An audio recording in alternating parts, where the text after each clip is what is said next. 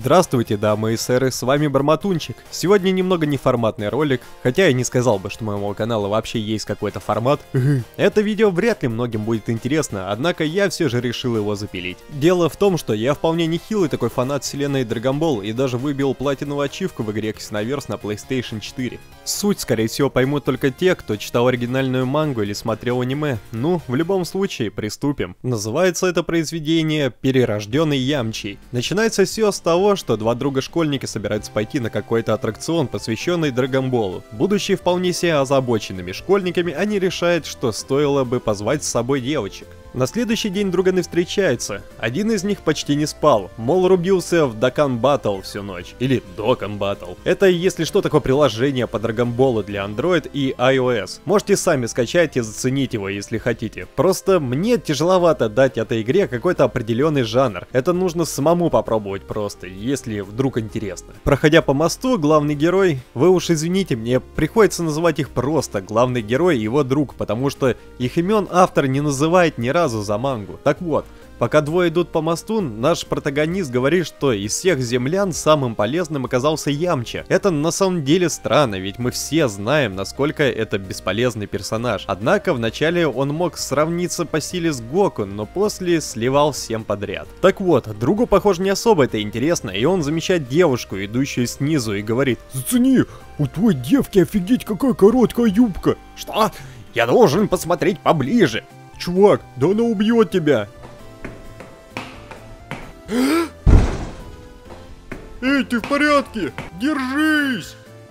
Наш неуклюжий друг очухивается и замечает, что он превратился в Ямчу. Сначала думает, что это тот самый аттракцион по Драгонбола, но собравшись с мыслями осознает, что он же не дошел до туда, а вернулся с лестницы. В голову приходит теория о том, что умирая, человек может оказаться в другом мире. Сначала он бесится и жалуется, мол, почему ему не достался Виджита или Гоку, но потом вспоминает, что именно Ямча начинает встречаться с Булмой и сразу меняет свое мнение. Будучи нехилым таким задротом Драгонбола, он наизусть помнит, как должны развиваться все дальнейшие события и повторять некоторые сцены кадр в кадр. По оригинальному сюжету Ямчи и Булма должны были улететь на вертолете и встретиться с Гоку и остальными на следующем мировом турнире боевых искусств. Однако, вспомнив насколько убог и жалок Ямча, наш герой решает, что лучше отправиться с Гоку к мастеру Роши и начать тренироваться вместе с ним. Но чтобы не потерять свою девушку, он просит ее дождаться его, несмотря ни на что. Та, не понимая, что на него нашло, соглашается.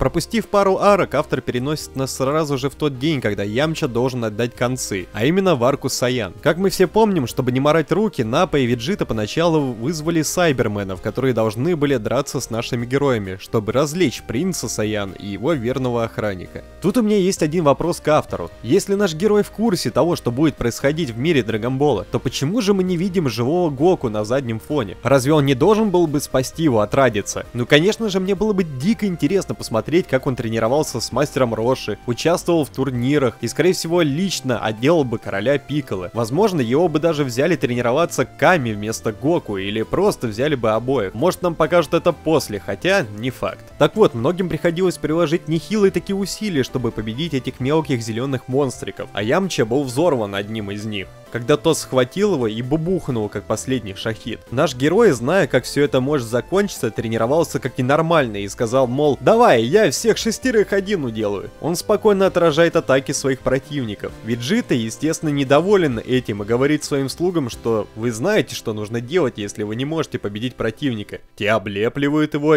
и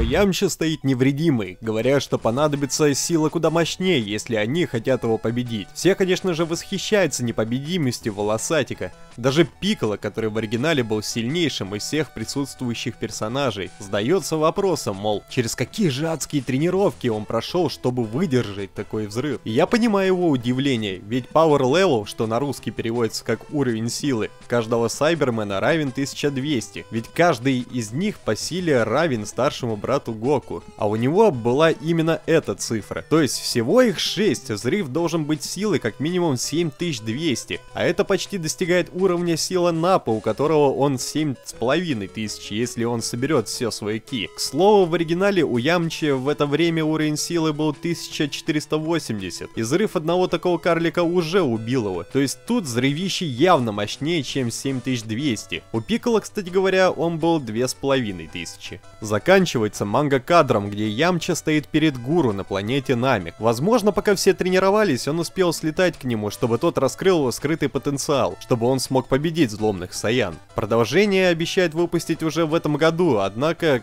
когда неизвестно. Мне лично понравилось это вступление. Рисунок дико похож на оригинал, и я всегда обожал параллельные миры и альтернативные вселенные. То есть истории из разряда «А что если бы?». Зачастую лучше делать именно так, а не создавать сюжеты про путешествия во времени, где может быть куча неувязок. Кстати говоря, об альтернативных историях. Есть фанатская манга Dragon Ball Multiverse. Если хотите, я могу порассказывать и про нее, пишите в комментариях. Также, если хотите, я могу сделать перевод манги, про которую я вам только что рассказал, и выложить ее в своей группе ВКонтакте. Ссылка будет в описании. Ну и пишите, нравится ли вам рубрика, хотите ли вы подобных роликов и вообще, go общаться.